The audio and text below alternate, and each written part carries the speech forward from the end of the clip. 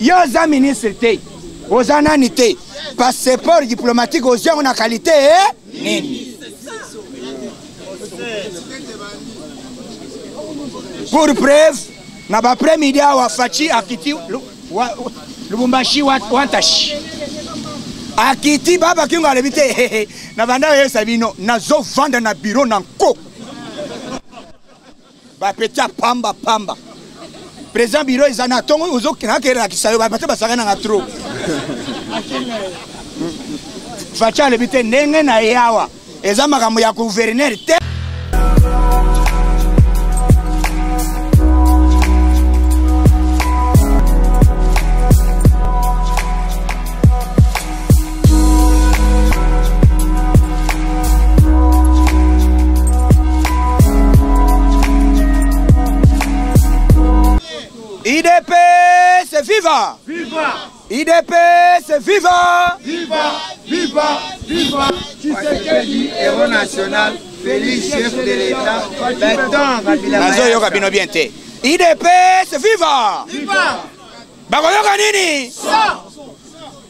soki oyawa place oyo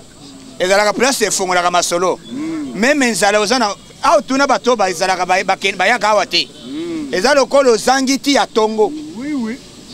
soki omeli yango te ezosala mposa oya oh, donc soki okomi awa tikele makambo ya ndako yaka awa oyoka matière mpo tofongola liboko tonyata boro to soki balobi viva yo okomi koloba viva na se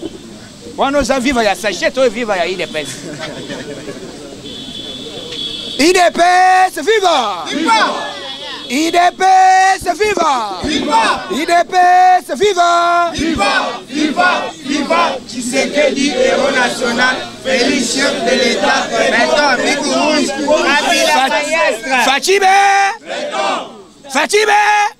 bakoyoka nini année 2020 année ya nini action ebandaka te esali nini Fatshi alobi na bosa na chips yoyo yoyo ya bana bayibi yango nde tito vie tito vie tito aweleli aweleli bashipsa bana mwana alobi yaya moto azwi eza tito ye o ngai te ye mwaya wangana eza te mais faci alobaki nalobaki na politike ntango ozosala politike eloko ebomaka bapolitisien lokoso na politiki soki olingi oexiste lokola tshisekedi wa molombe ozala na dignité lokola faci na monde tika lokoso ya moyebi tika lokoso ya mbongo voilà maintenant oyo kandida oyo azali koloba na 2023 mbongo moyibi emonanaka te asali nini ndumba mpe na ya sere oyo ah. ya sere sere alobi yo zoka lar kaka ah. toyelaki mbongo moyibi zuwa libe me ayebaki te ke faci atyaki piège alobaki nzambe losambo na ngai ezali ke Cope na ngai resir bayiba nde mbongo eza bongo te papa nayebisa yo image lelo bukavu fief ya vital kamere déterminé comme un seul homme bazoloba à l'immédiat kamera de lelo na tongo tamusinga church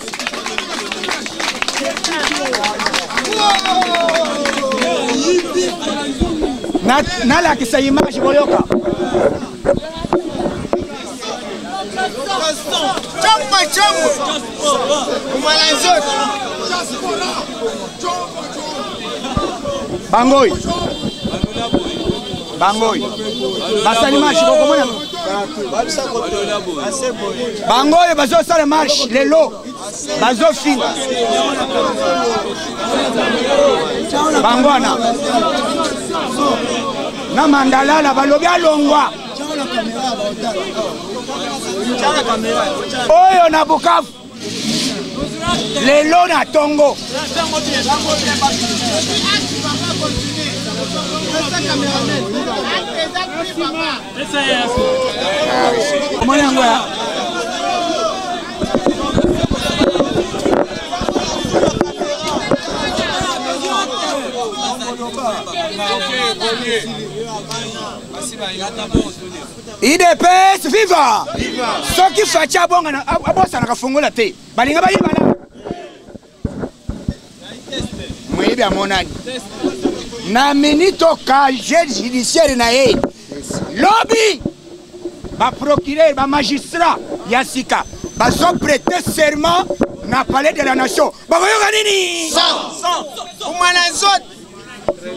ekozala en direct na rtnc flash flash flash flash vers 11 heures flash flash urgence urgence flash flash tamusira tete idps viva lobi bazoprete serment epuis bakozwa document ya prestation ya serment na bango baremettre yango chef de apres yango simba motema to bongo oyoka systeme ya omukama te omukama un journaliste moko soki john lumbila soki john lumbila il a injuré le président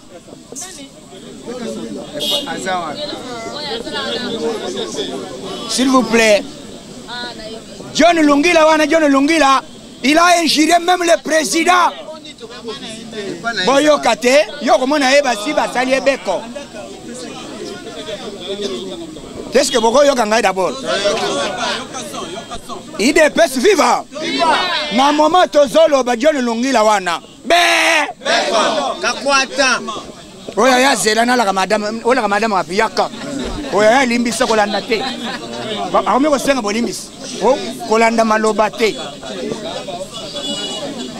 directement maka selembau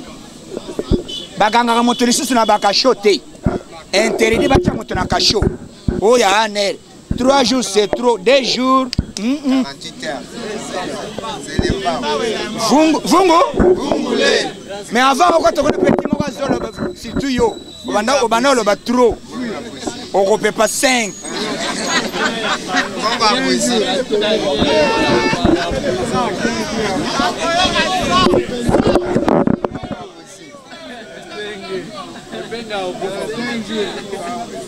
idps viva okokuta chef kuna na makala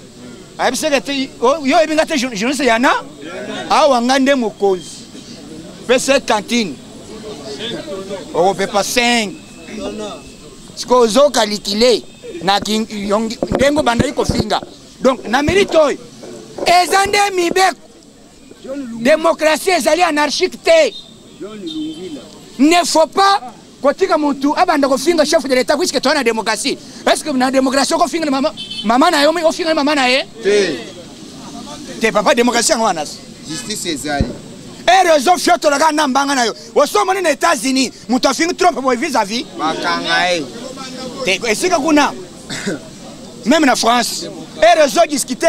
ere olingi odiscute okolapa ndenge balokoti yo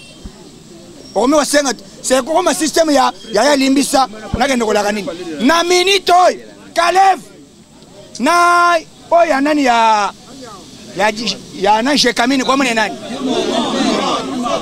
yuma kwa mune nani yo aza pe yo aza pe yuma vole wena mucho na minute instruction papa frappe ezoya na minute bango bapesi ordre dgm alobi boye biso toza na influence ya songolo pakala te biso tozosala nde mosala ya leta a partir d'aujourd'hui ozala nani memeli biso dokima oyo ezali conforme na mibeko soki omemi dokima deja expire be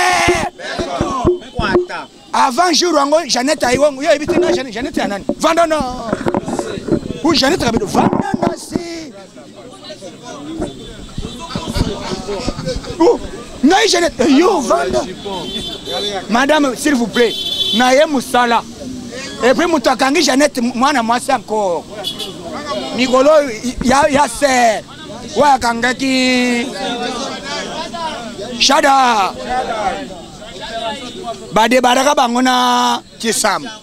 balobi na minite oyo soki oza na passeport expire bakuti yo na aéroport be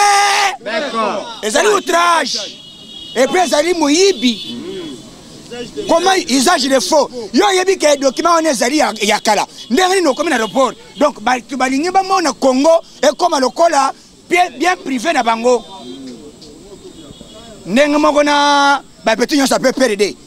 na papi itamba na bamosusu po te nalingi na voyage lakisa passeport passeport ya 2000 soki combien papa papa ote yo oyebi nga nayeba yo oza nani erazo discute be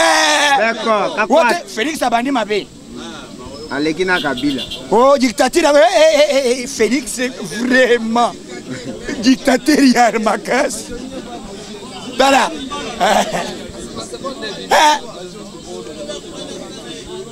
yo oza ministre te oza nani te passeport diplomatique ozwi yango na qualité eh? nini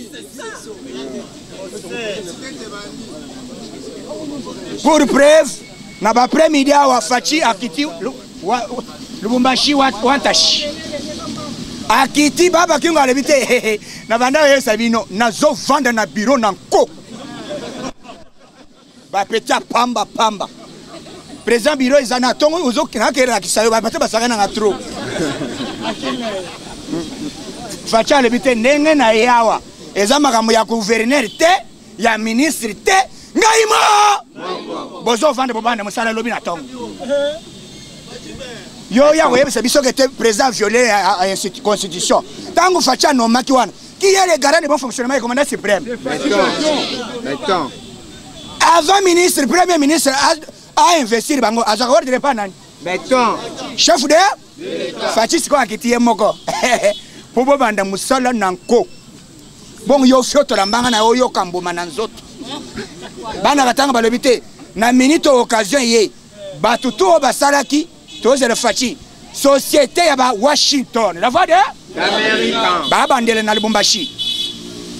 soki basilisi bazoya awa bazali na 24 société moko soki eza moke ekozwa 1800 personne na société moko awa ah est ce que bino boza 1500 awa mais soki bozolela awa ete mosala mosala banda kosala pompage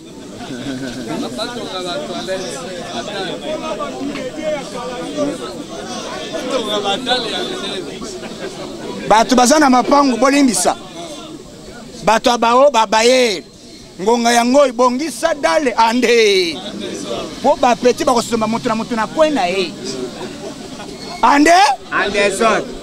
makambo ezoya mpo oyebake bato balingi bapiege faci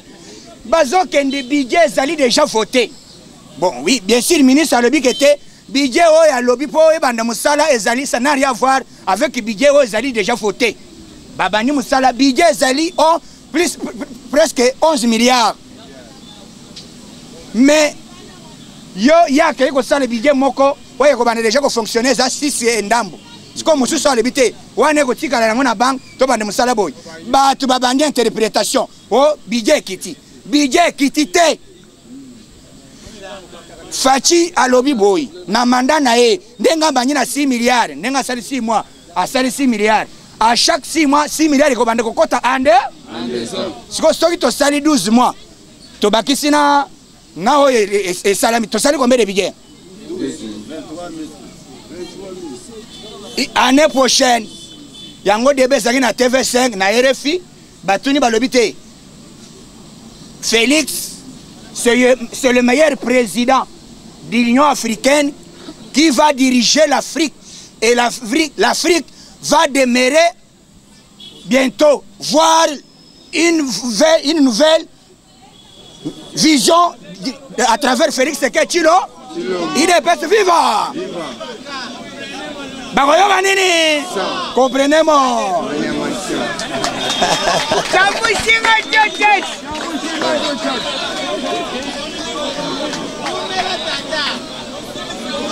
Ouais.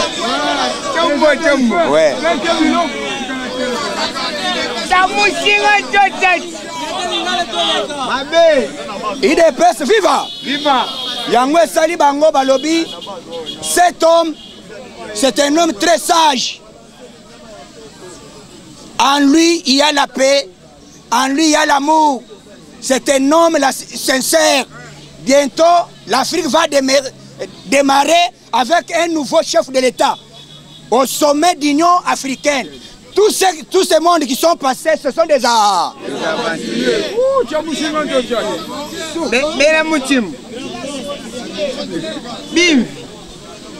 Et aujourd'hui, Washington, la voix de l'Amérique, nous sommes trop fiers et nous avons eu en Afrique un vrai collaborateur au sommet de l'État. Il s'appelle Félix Ekechiro. Nous mettons en garde, il y aura des décisions à Washington. Nous mettons en garde, en commençant d'abord, mutu ya grand lac ya etats-unis ayaki akendaki na kingakati ayebisi kabila kabanga boyi yo omoni nde nini olingi ah, nakopema awa nakokende olingi wapi banda kopona ngonga na ye ekoki omoni ke okende libanda okende sikusi wengene osani te yo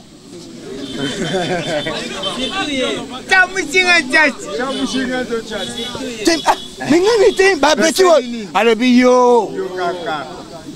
moto ayebi kamere yo yo nde ozo bloke eh.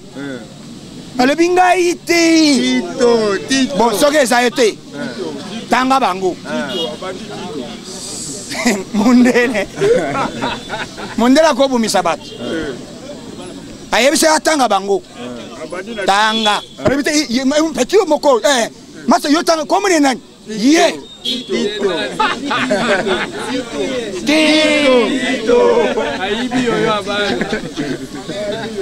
ayebise boyi ndenge tozokende boyi maloba ba yokanani maloba oyo ya d'abord ya ministre premier ministre belge alobi déjà ayebisi madidi omoni ndenge oza boye s'il vous plaît pour le moment nazoyebisa bino na minute oyo bato bapekisaki ndule na poto eza bakombata ya ide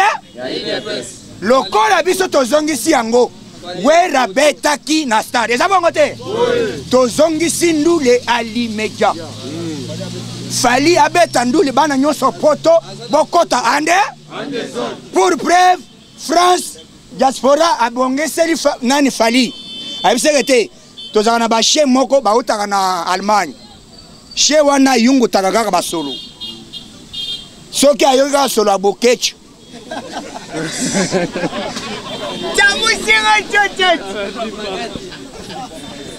lelo balakisi fali aza na ekipe na bachien policier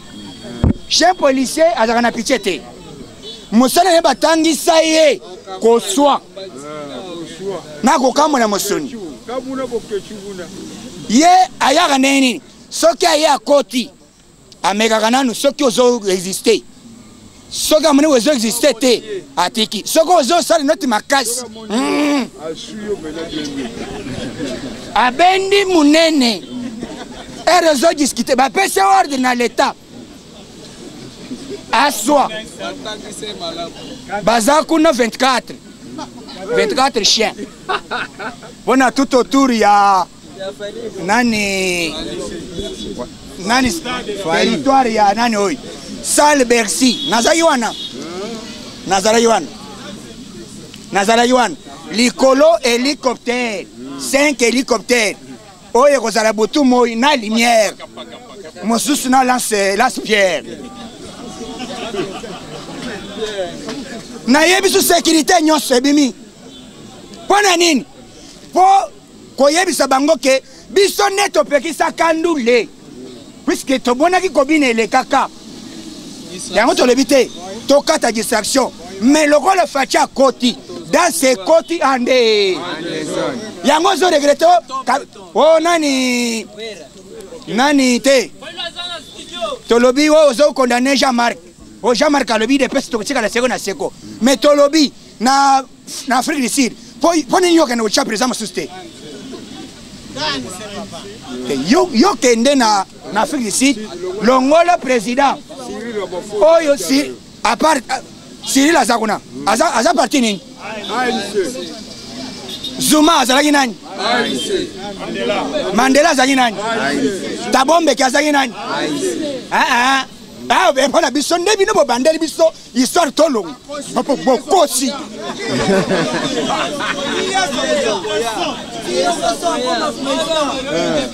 nakobeta boye soki faci alembi puiske tokotuna ye président yo omoni nde nini président alebi te eh, eh, eh, nzoto mais epuis tosengi d'abord biso tolobi faci akosala ke peuple congolais asentir mafuta ya, ya ide ya idps eloko ekosala ke okende soki otuni élection be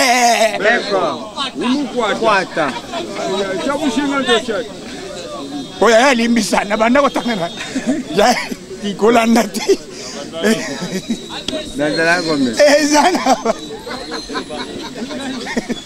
eza na bato babakatala soki omoni moto azoloba mingi uti nakobanga te meilleur polisi azoyaka boye alo yo masa yaka te yayo elimbisa kutu nazalaka nanga kombata te chamusinga chochech